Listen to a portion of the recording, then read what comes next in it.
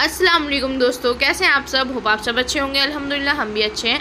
तो गाइज़ आज हम आपके लिए लेके आए न्यू रेसिपी आलू की कतली की। तो मेरी गुलाबों के अंदाज़ में आप इस रेसिपी को बनाइए, सीखिए।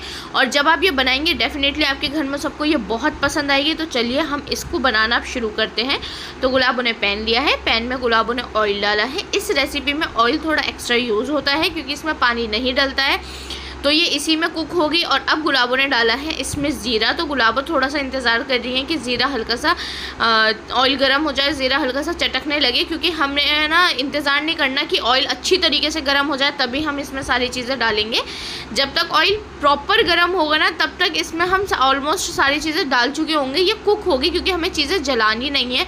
तो देखिए, गुलाबों ने अब इसमें एक लहसन की कली के लहसन की कली ली थी, जिसको गुलाबों ने रफली चॉप कर लिया था, वो गुलाबों जी ने इसमें डाल दिया आप चाहें तो इसे स्किप कर दें, क्योंकि कुछ लोग लहसन नहीं खाते तो स्किप कर सकते हैं आप इसको। लेकिन अगर आप खाते हैं तो बिल्कुल स्किप नहीं करिएगा, क्योंकि लहसन का बहुत ज़बरदस्त टेस्ट आता है। और गुलाबो जी ने, देखिए, अब इसमें आलू डाल दिए हैं, जिनको गुलाबो जी ने धो के और अच्छे तरीके से उनको कतलियों की तरह काट लिया था, और वो गुलाबो जी इसमें मिक्स कर रही हैं और सच में यार ये बहुत ज़बरदस्त रेसिपी बनती है। आप इसको अपने बच्चों को लंच में और ऑफ़िस के लिए भी आप इसे आराम से दे सकती हैं और जब आपको कुछ समझ ना आए ना तो आप इसे फ़ौर बना सकती हैं।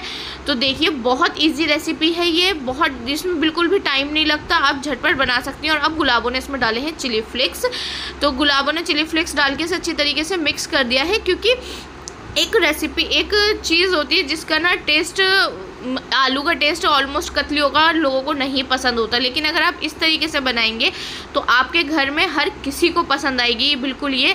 और अब गुलाबों ने इसमें डाली है हरी मिर्चें, जो गुलाबो जी ने काट के रखी हुई थी, और गुलाबो जी अब उन्हें मिक्स कर देंगे। ये मोटी हरी मिर्चें, और मोटी हरी मिर्च ज़्यादातर तेज़ नहीं होती है तो गुलाबो जी इसको अच्छी तरीके से मिक्स करके, और इसे कुक करेंगी। और आप इसमें नमक ना अपने हिसाब से डालिएगा। हमने अपने टेस्ट के हिसाब से डाला है।